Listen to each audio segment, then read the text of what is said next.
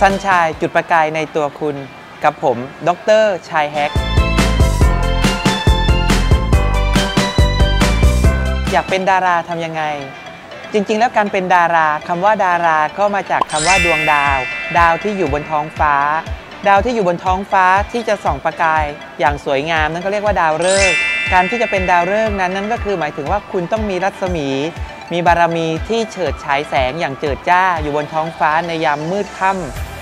เป็นดาราก็เช่นกันนะครับ การเป็นดารานั้นก็คือเป็นบุคคลที่จะต้องไม่ธรรมดา คนคนนั้นจะต้องมีบุญบารมี มีรัศมีที่จะคอยส่องประกาย หรืออย่างที่เราเรียกกันง่าย ๆ ว่ามีออร่า และการที่จะมีออร่าได้นั้นนะครับ ก็คือ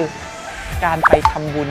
การทำบุญบ่อยๆ จะทำให้ชีวิตเราเนี่ยเปล่งประกายรัศมี มีบุญบารมี นี่ก็คือหลักง่ายๆ และยิ่งถ้าเราเป็นคนทำบุญบ่อยๆ จิตใจของเราก็จะดี ในเมื่อจิตใจของเราดี เราทำทุกอย่างก็จะมีความสุข ทุกสิ่งทุกอย่างก็ส่องประกายมาจากแววตาและก็สีหน้า เคยสังเกตไหมเวลาดาราหลาย ๆ คน หรือบางคนที่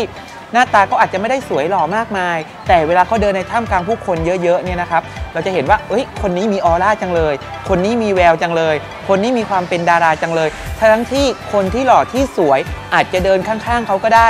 สิ่งนี้แหละครับคือสิ่งที่สำคัญที่สุด ดังนั้นคนทุกคนไม่ใช่ว่าใครจะเกิดมา พื่อที่จะเป็นดาวได้เสมอไป